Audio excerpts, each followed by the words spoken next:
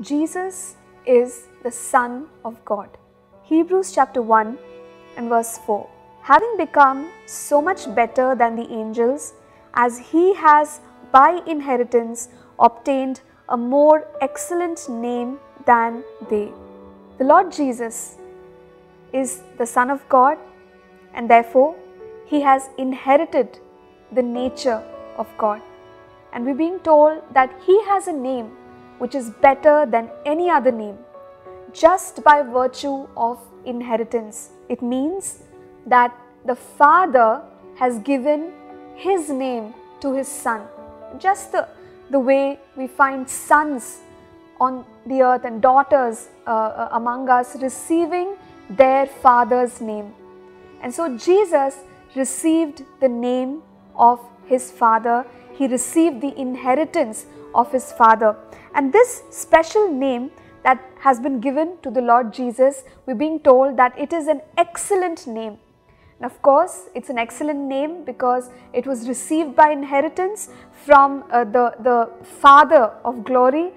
But at the same time, what is special about the life of Jesus is that he lived a life of surrender, he lived a life of communion with the Father, he lived a life of obedience in exaltation and in suffering. And so, not only did he receive an excellent name by inheritance, Jesus received this excellent name through his walk of obedience.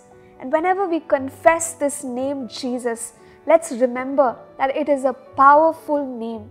There is no one else. This very scripture says that uh, Jesus has become better than the angels, the heavenly beings, receiving this great name that no one on earth or no one in heaven uh, has such a powerful name.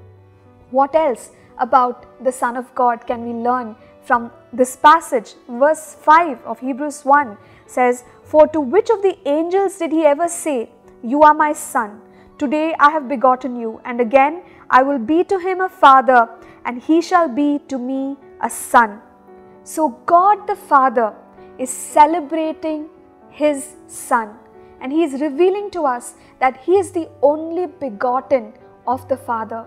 And, and uh, though this passage was written keeping in mind David and Solomon, you know, who are humans and imperfect, God is revealing the perfection of this truth. He is talking about the begotten, the perfect begotten Son, the Lord Jesus Christ. And so, uh, as we meditate on who Jesus is to the Father, know, let our hearts respond in worship. Let's pray together.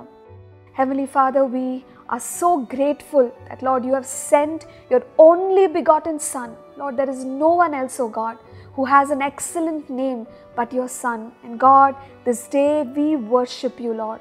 We honor you, O God. And Holy Spirit, we pray that you will continue to deepen this revelation of the Son of God to us. In Jesus' name we pray. Amen.